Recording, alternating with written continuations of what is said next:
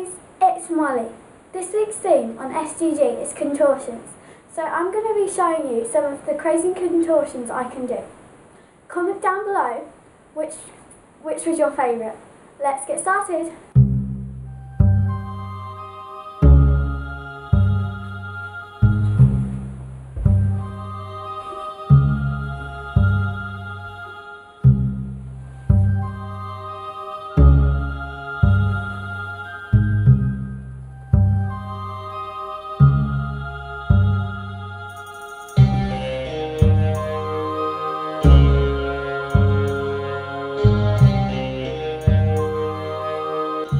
Watching. Bye.